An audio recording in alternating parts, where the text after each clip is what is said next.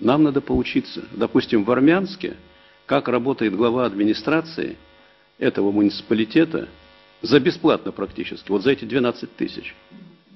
Это, знаете, город вылизан как, ну как конфетка. Ничуть не хуже Спасдеменска. Обул этого предпринимателя, э, который там владеет заводами, заставил его все э, школы отремонтировать, э, медицинские учреждения, учреждения культуры и жилой фонд. Ездил к Януковичу жаловаться на него, что только не было. Бесполезно.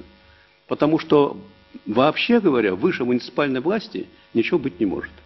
Вся, все полномочия в муниципалитете. Он его так придавил, одно место дверкой, что тот в Австрию сбежал. Его нужно было делать.